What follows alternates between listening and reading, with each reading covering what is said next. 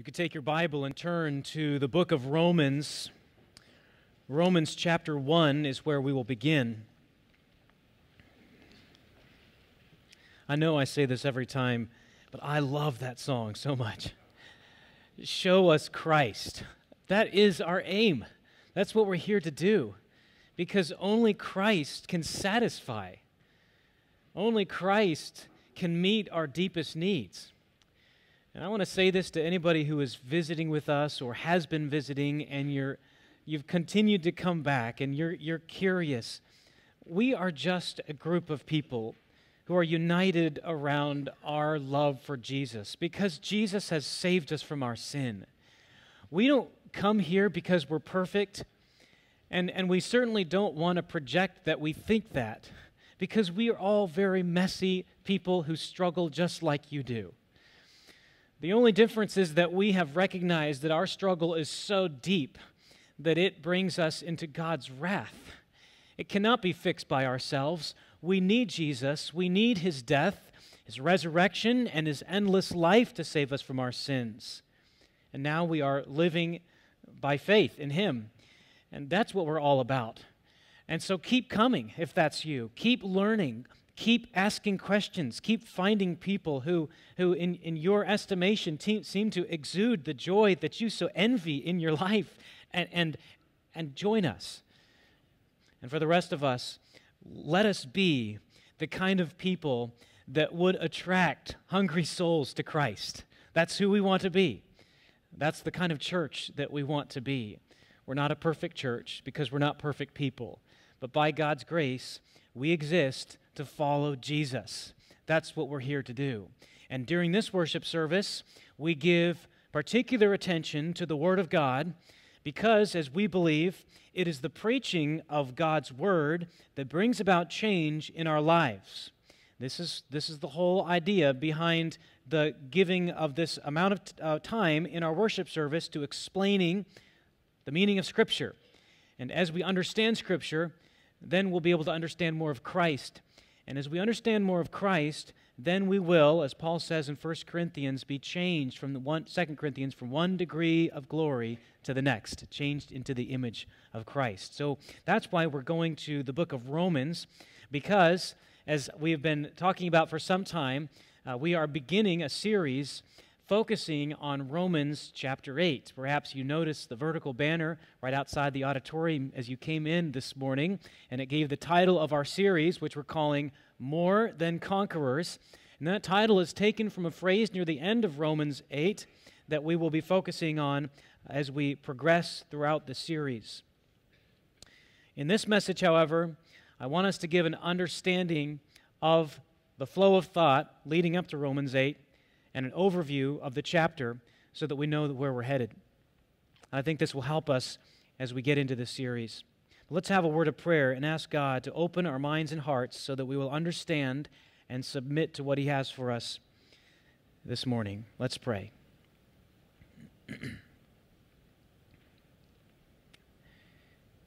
our Father,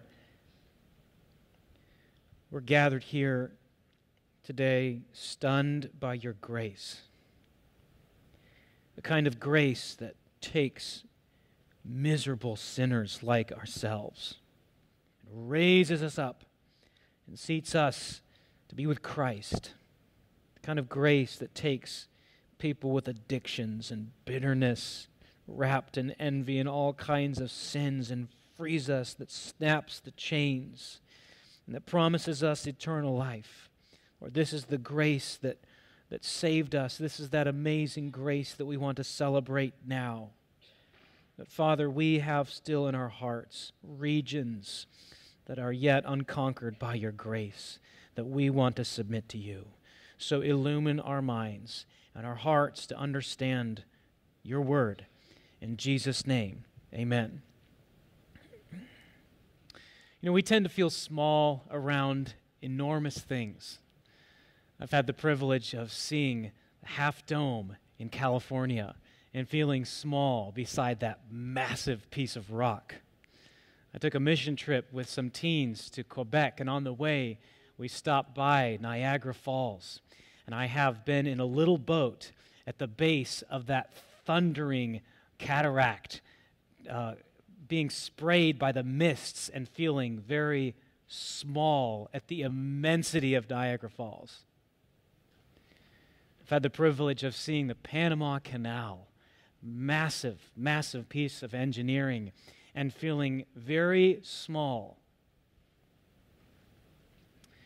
And yet I have never felt smaller than I feel as when I approach the book of Romans. And because for nearly 2,000 years, students of this book have climbed into this letter and descended from its towering heights, feeling humbled and yet panting for another climb. And yet, I have chosen to preach on one of the loftiest peaks in this book, and that is the chapter, chapter 8. And I think you deserve to know why. So I want to explain that to you. Several reasons, and they all spring from two main considerations the subject matter of Romans, and then the manner in which I hope to preach it. First of all, the subject matter. Subject matter is glorious. Romans 8 stands as part of one of the most glorious epistles in the New Testament.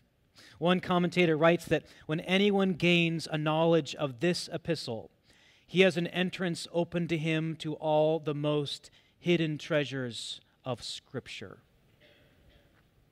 The great reformer Martin Luther declares about the book of Romans this epistle is really the chief part of the New Testament and is truly the purest gospel.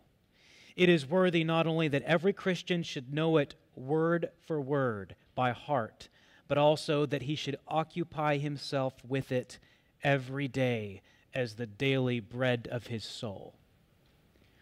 Now, Martin Luther knew what he was talking about because it was the message of this book of Romans that sparked in his heart a transformation that allowed him to see that salvation was not by works, but by grace alone, through faith alone, in Christ alone, and allowed him to revolt against centuries of heresy and malpractice in the Roman Catholic Church and to return to a biblical understanding of salvation. From his study of the book of Romans. You may be familiar with the name John Wesley. He was the great 18th century revivalist his brother Charles, we sing many of his hymns. But John was John Wesley was so determined to live a devout Christian life. And yet so incapable of doing that. He, he was so determined that he went all the way from England to the American colonies to be a missionary in Georgia, to do something great for God. And he came back to England, feeling still empty and under the load of the guilt of his sin. It was a gospel that he did not yet understand.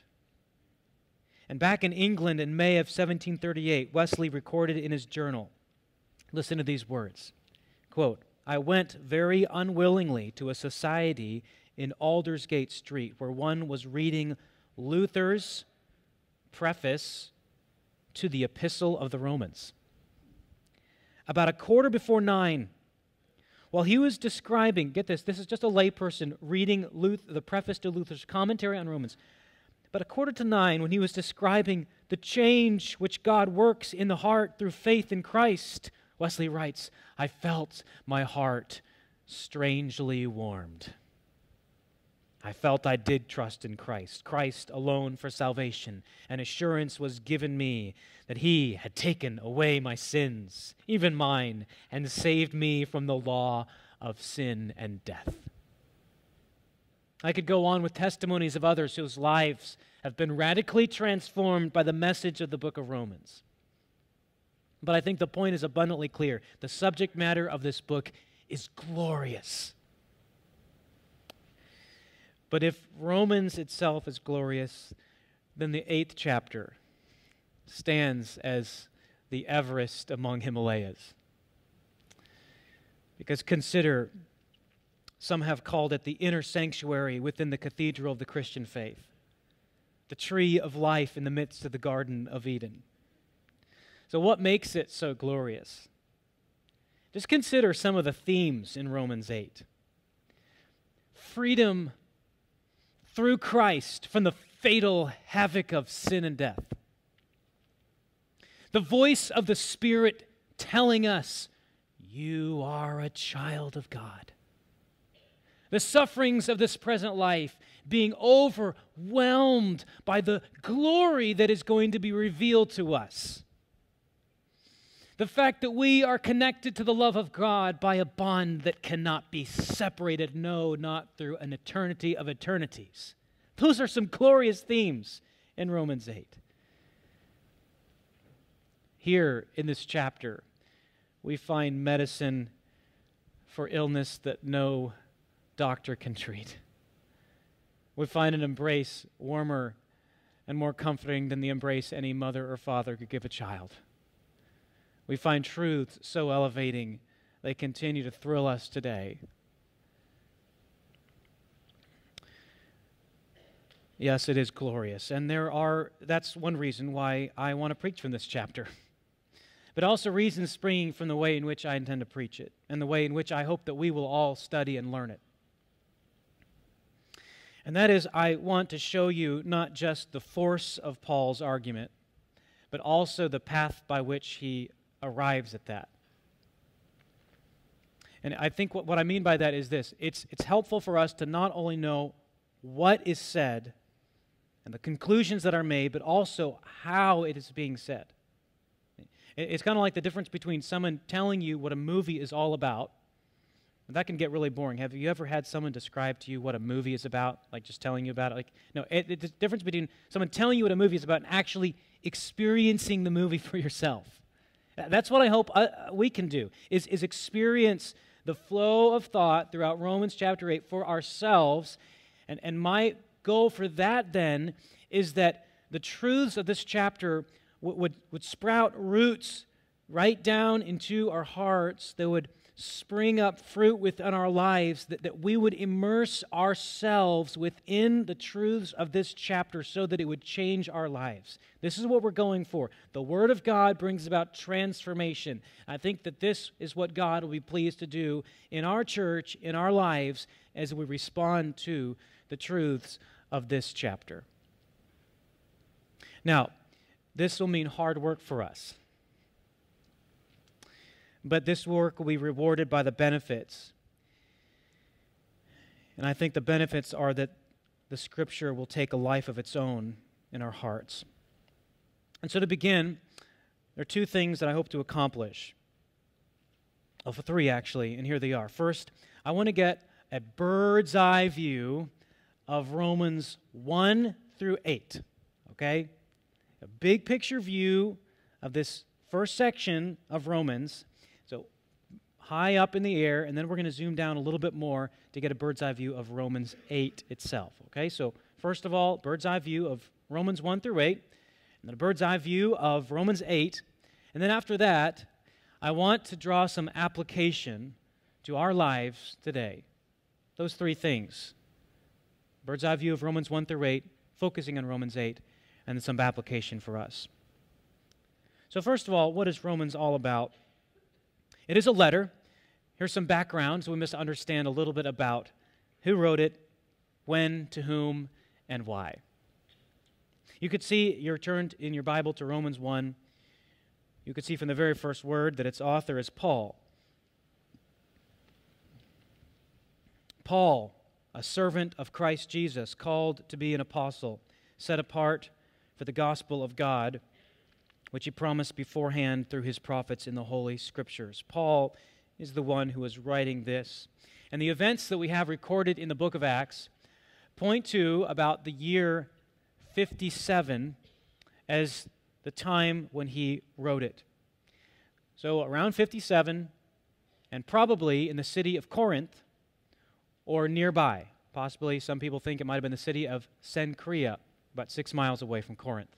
Either way, right in that area, most likely Corinth. And as you could see, first of all, or, or further, he is writing this letter to certain people, and we find those people in verse 7. You're in Romans chapter 1. We looked at verses 1 through 2 to find who is writing. Now, verse 7, who he's writing to. To all those in Rome who are loved by God and called to be saints.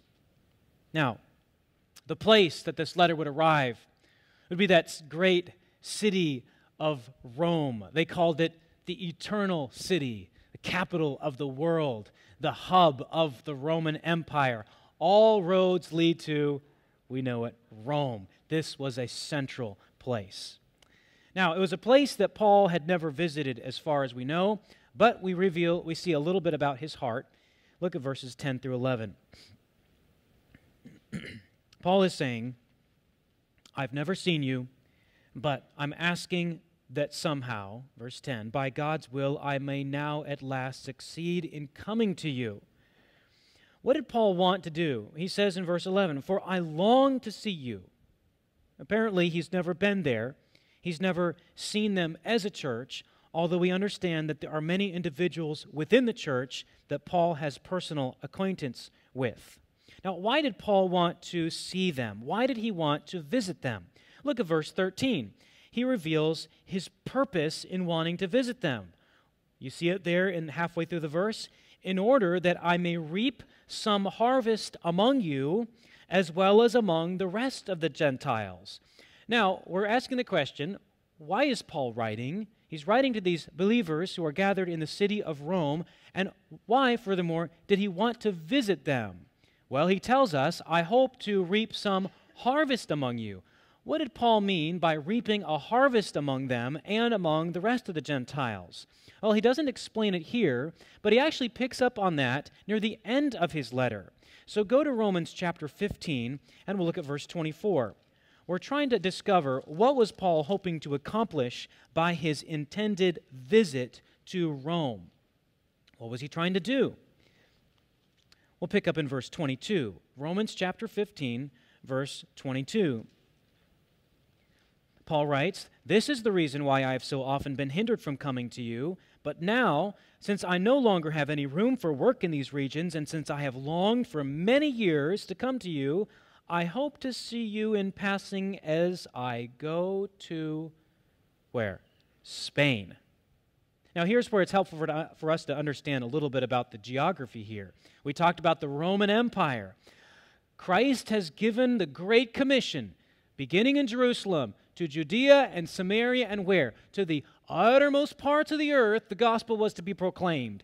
Paul was given a commission from the Lord Jesus Christ to bear witness to him to the uttermost parts of the earth. And now we catch a glimpse into the enterprising missionary mind of the great apostle Paul. And that is, he wanted to bring the gospel not just in the regions that have been already proclaimed with the gospel, he wanted to take the name of Christ even beyond. And if we were to see a map of the Roman Empire, we would see that the Roman Empire spread all the way from the Persian Gulf, from the Persian Gulf in the uh, what direction is that? The Persian Gulf in the east, all the way to, to, the, to Spain in the west. That is a, a vast span of territory. And Paul wanted to take the gospel to the furthest reaches of the Roman Empire. What was the furthest reach of the Roman Empire? It was Spain. You see what Paul is intending to do? He wants to take the gospel all the way to the uttermost parts of the earth to fulfill the Great Commission. But what will it require? What will be required for Paul to do that? He needs help. He needs a base of operation. You're in, chap- you're in chapter 15. Look at verse 28. When therefore I have completed this and have delivered to them what has been collected, I will leave for Spain by way of you. We're trying to figure out why did Paul write this letter? What are the circumstances under which he wrote this letter? He was writing to a group of people that he hoped to be the base of operation from which he would be able to fulfill the Great Commission to the uttermost parts of the earth, the very fringes of the Roman Empire. And he needed the help of these Roman Christians the very hub of this great empire, center of the world, the eternal city, Rome. But there was a problem. And this problem is at the heart of why Paul wrote this glorious letter. You see, when the Church of Rome was founded, it was founded most likely by Jews. And then non Jews, that is, Gentiles, began to trust in Jesus. And now you have a church composed of Jews and Gentiles. But at a certain point in the history of that church, the Roman emperor expelled all the Jews from Rome. You have to leave Rome now.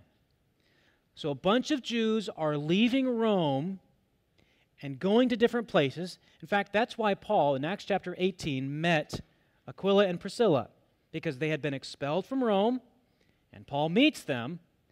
And that's how, most likely, Paul met a lot of the other Jews that he met and then addresses in Romans chapter 16. But here's what happened. Now, several years later, the Jews, having been scattered from Rome because of the expulsion by Emperor Claudius, are allowed to come back. Jews coming back then to a church that has been primarily Gentile. Now, what do you think happened after the Jews returned to this church? It was a mix of Jews and Gentiles. Now the Jews have been expelled. The Gentiles have been on their own for several years, and now the Jews come back. Return of the Jews stirred up questions that had been stewing beneath the surface, questions about the gospel. Particularly, what are the places of God's, what is the place of God's promise to the Jews? Which group, Jew or Gentile, enjoys special privileges in God's plan to save humans? What about all the Jewish laws? Must Gentile believers adopt those? If the Gentile believers have to adopt the laws, then what's the point of grace? Now, if they don't have to adopt the laws of the Jews, then what's the point of the law? Has God set aside his promises to his people? What is going on here? What is happening is that there is a rift that's threatening to split the believers in Rome. A strategic platform for Paul's efforts to take the gospel to the regions beyond. And so, why Paul is writing this letter is to provide a further explanation of the gospel so that these people will understand the role of God's promises and the role of the people of Israel in the life of the church and in the truth of the gospel. And this is precisely why Paul, why Paul prayed near the end of the epistle. If you're still in Romans chapter 15, I want you to glance back at verses 5 through 7. Remember, I said that there was this rift that was threatening to tear apart the believers in Rome. Paul's hoping to use Rome as a platform for his furthering of the gospel to Spain, the very fringe of the Roman Empire. And he writes in verse 5 of Romans 15 May the God of endurance and encouragement grant you to live in such harmony with one another. There's a word harmony. There needs to be harmony between the Jews and the non Jews in accord with Christ Jesus. Why? Why should there be harmony? That together you may, with one voice, do what? Glorify the God and Father of our Lord Jesus Christ. This is the whole point of Christian unity. Not just so we can all get along, not just so we can have a club that doesn't have any conflicts or rifts. It's so that we can, with one voice and one mouth, glorify God. And ultimately, that was what was in danger because of the disunity in the Roman church. It was that God would not be glorified by competing factions within the church. And Paul is writing this letter so that they'll be unified around the truth of the gospel for the glory of God. Now, this brings us to the theme of Romans because the question of God's glory being at stake. The question of God's glory will God be glorified? Will be glorified even though there's these factions going on among the Jews and the Gentiles? Will be glorified even though there's these questions about whether God has been faithful to his promises? This question of God's glory is like a jet engine propelling the energy of this letter from beginning to end. And, and this is why I believe, and I think that you'll see this too as you study the book of Romans, that the glory of God is very central to the theme of Romans. Because Paul is, is saying that, that the greatest problem facing humanity is that people fail to glorify God. We, we can see this near the very beginning. Go to back to Romans chapter 1. Romans chapter 1 and verse 21. He's saying this For although they knew God, they did not honor him as God or give thanks to him, but became futile in their thinking, and their foolish hearts were darkened. The word that's translated honor there is the word glorified. They failed to glorify God. There is in the universe a vast vacuum of glory, and it has been created by the rebellious sin of humankind. The greatest problem that you and I face in this world today is that God is not being glorified, and that is the problem that Paul sought to address in this epistle. Where else do we see the glory of God in the book of Romans? We see it in chapter 3, verse 23. Look at this. Here is the problem with human beings here is the problem that we are faced with for all have sinned and fall short of what? The glory of God. This is the problem, as Paul said earlier in verse 23 of chapter 1, that they have exchanged the glory of God for images resembling mortal man and birds and animals and creeping things. This is a glory that is so great that we can share with him, as we'll discover in Romans chapter 8. It is a glory that, again, Paul mentions at the close of the first great section of this epistle, at the end of chapter 11. Please turn there.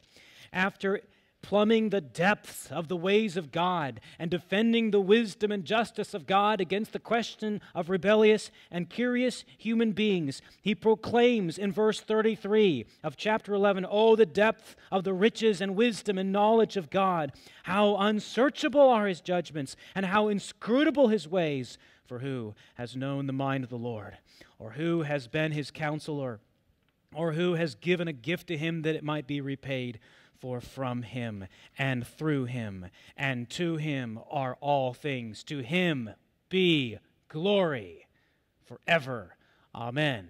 And if that were not enough proof that, the glo- that glory is a central theme throughout the book of Romans, I would invite you to look at the final section in chapter 16 and verse 27. Paul ends with this doxology To the only wise God be glory forevermore. How will he get glory? It will be through Jesus Christ. Amen. That's how that epistle closes. The glory of God. And yet the problem is that people aren't glorifying him. The problem is that human beings, instead of glorifying God, have glorified themselves. Instead of honoring God as God, they have honored other things as God. Men and women, that is the problem that you and I face today. We glorify so many other things. We elevate so many other things in the place that only God deserves. And we exchange the glory of God for, for other things. We are idolaters, idol worshippers. And yet, Paul proclaims the theme of Romans in verses 16 through 17 of chapter 1. I want you to turn there so you could look at it. With the backdrop of the yawning blackness of the absence of God's glory because of sinful human beings, and the need for them to be righteous so that they can indeed glorify God as they should. Paul says this in verse 16 I am not ashamed of the gospel for it is the power of God for salvation to everyone who believes, to the Jew first, and also to the Greek. For in it the righteousness of God is revealed from faith for faith, as it is written, The righteous shall live by faith. How will God's glory be revealed? His glory will be revealed as God displays his righteousness. What is righteousness? Righteousness is everything it takes to uphold the glory of God, which we have failed to do. And so here is, as concisely as I can,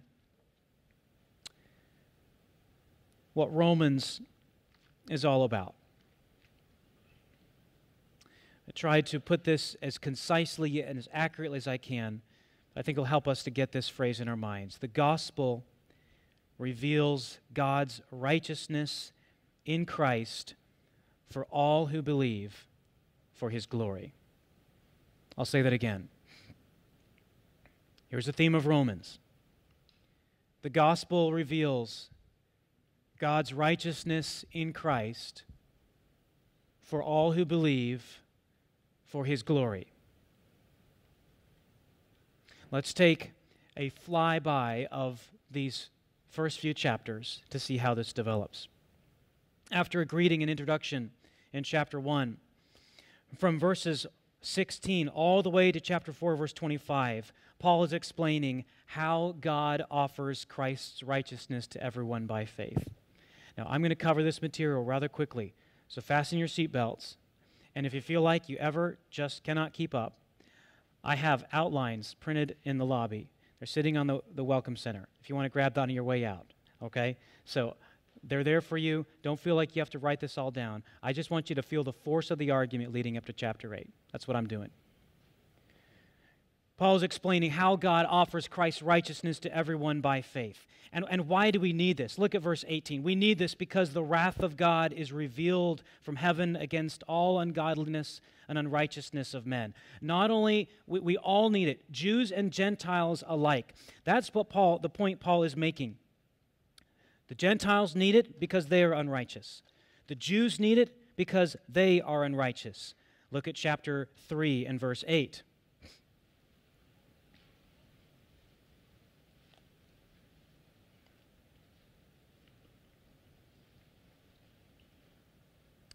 Uh, verse 9 rather. What then? Are we Jews any better off? No, not at all, for we have already charged that all, both Jews and Greeks, are under sin. Look at verse 20. For by the works of the law, no human being will be justified in his sight, since through the law comes knowledge of sin. What is Paul saying here? He's saying we all need the righteousness of God. We need a righteousness that's not our own, a righteousness to be received from God because we all are unrighteous. We all have sinned and fallen short of the glory of God. And God is righteous to demonstrate his wrath to human beings. In fact, God's righteousness is displayed in condemning sinners. And if that were the end of the story, that would leave us hopeless. God displays his righteousness by showing wrath to us. Is that the only way God displays his righteousness?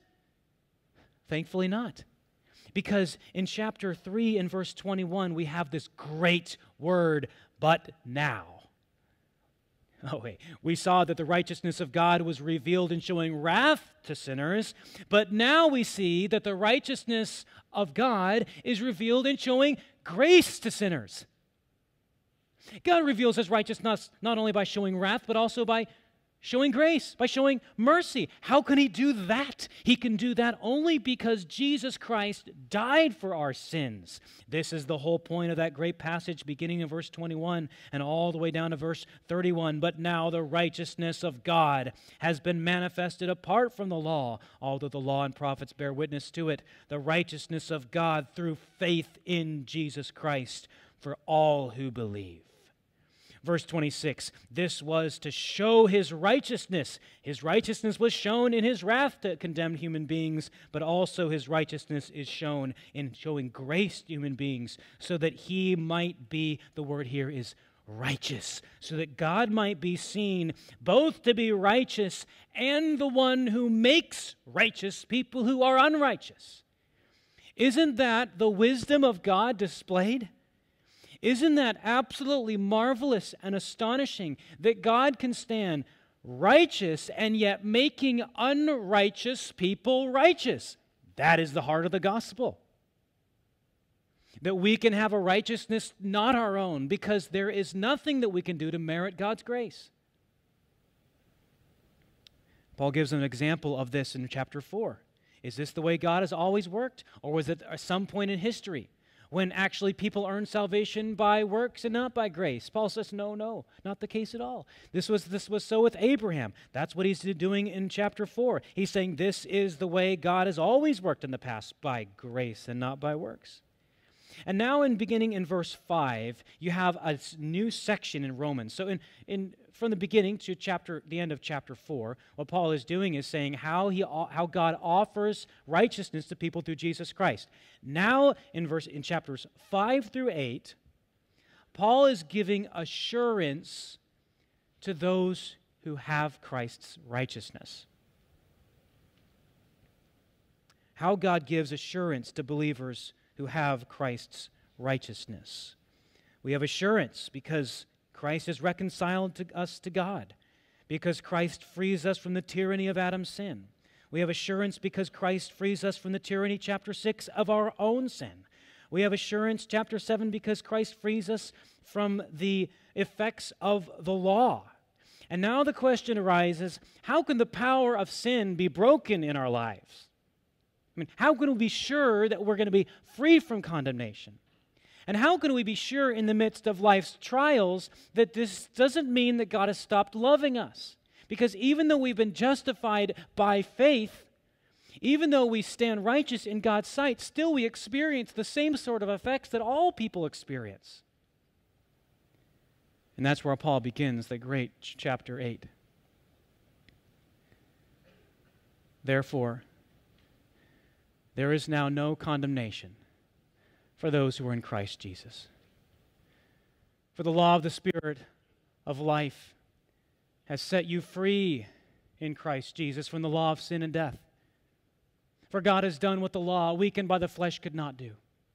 By sending his own Son in the likeness of sinful flesh and for sin, he condemned sin in the flesh in order that the righteous requirement of the law might be fulfilled in us who walk not according to the flesh, but according to the Spirit. For those who live according to the flesh set their minds on the things of the flesh, but those who live according to the Spirit set their minds on the things of the Spirit. For to set the mind on the flesh is death, but to set the mind on the Spirit is life and peace.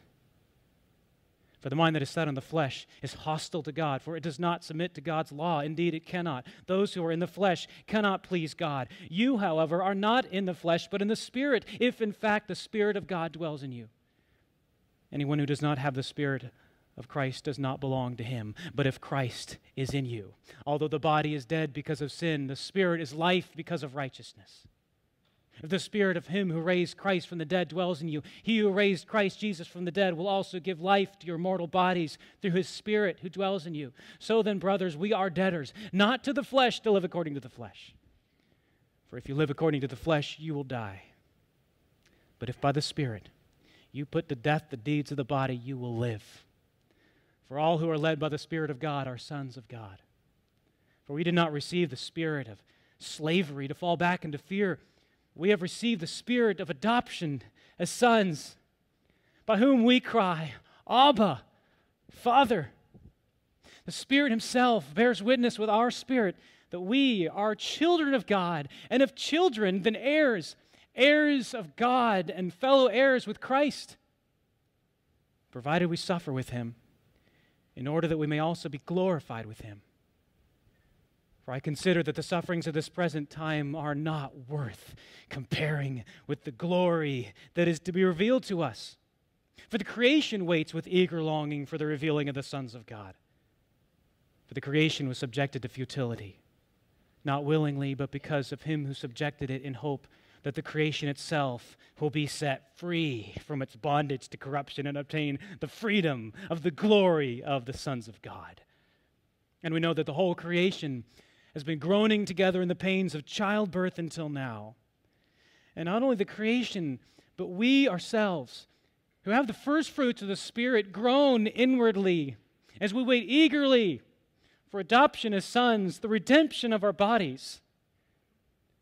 For in this hope we were saved. Now, hope that is seen is not hope, for who hopes for what he sees?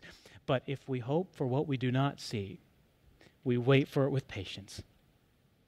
Likewise, the Spirit also helps us in our weakness, for we do not know what to pray for as we ought, but the Spirit Himself intercedes for us with groanings too deep for words. And he who searches hearts knows what is the mind of the Spirit, because the Spirit intercedes for the saints according to the will of God. And we know that for those who love God, all things work together for good. For those who are called according to his purpose. For those whom he foreknew, he also predestined to be conformed to the image of his Son, in order that he might be the firstborn among many brothers. And those whom he predestined, he also called. And those whom he called, he also justified. And those whom he justified, he also glorified. What then should we say to these things? If God is for us, who can be against us?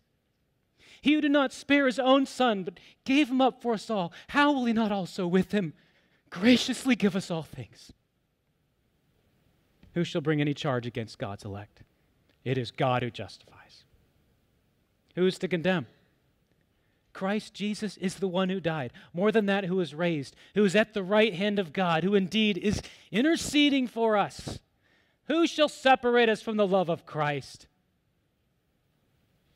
Shall tribulation or distress or persecution or famine or nakedness or danger or sword? As it is written, For your sake we are being killed all the day long. We are regarded as sheep to be slaughtered. No. In all these things, we are more than conquerors through him who loved us. For I'm sure that neither life nor death, nor angels, nor rulers, nor things present, nor things to come, nor powers, nor height, nor depth, nor anything else in all creation will be able to separate us from the love of God in Christ Jesus our Lord.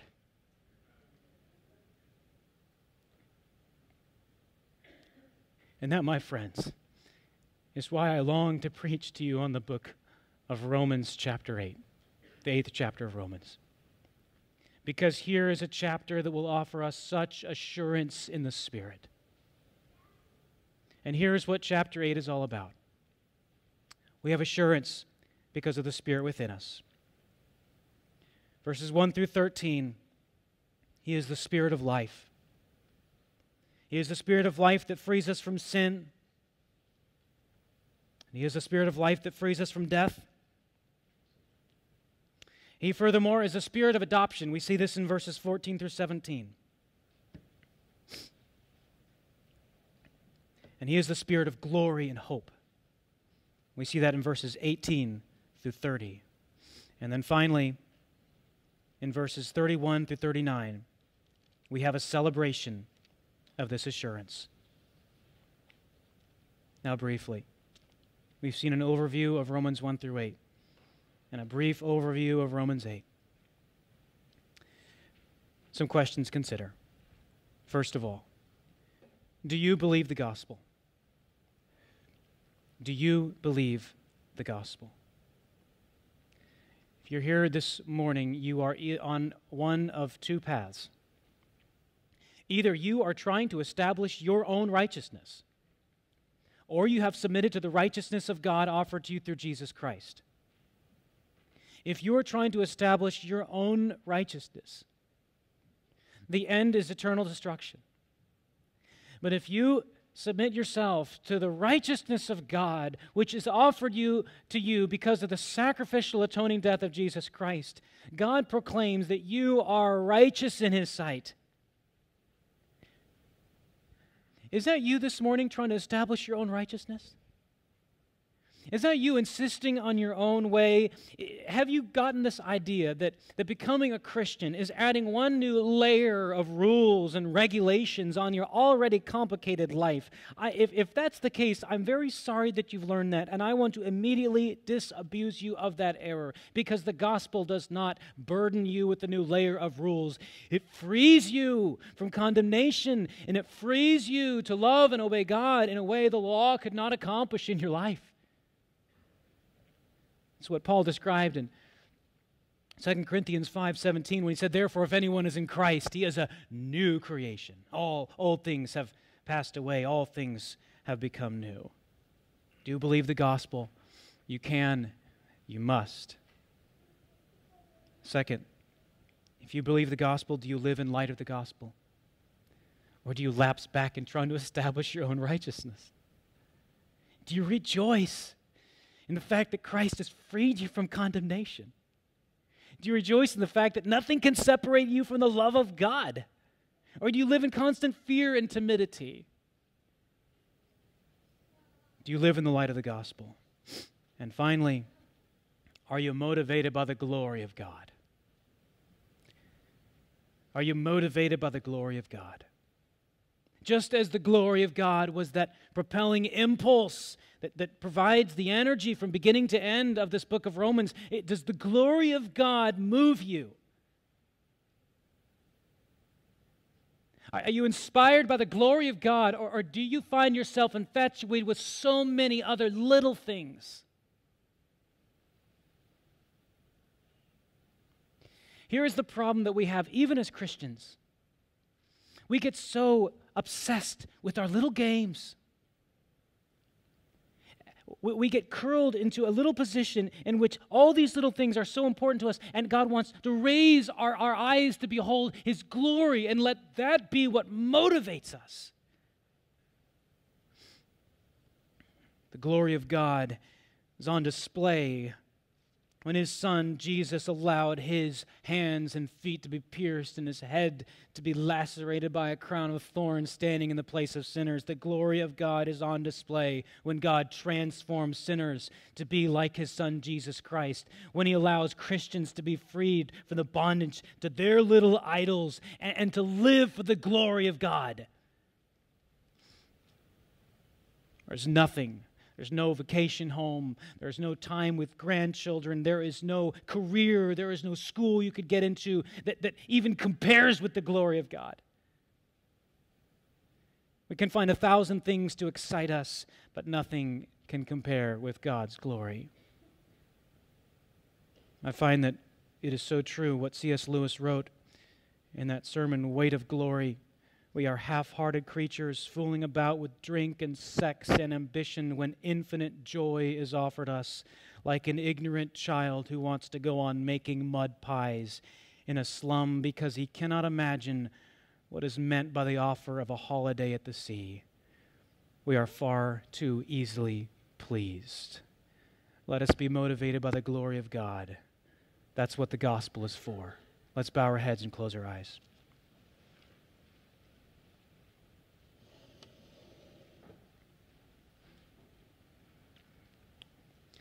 Our Father, I pray that you would help us now as we observe your supper. I pray that our hearts and minds would be ready to remember what you've done for us and what that means for what we should do for you, to you. And I pray this in Jesus' name. Amen.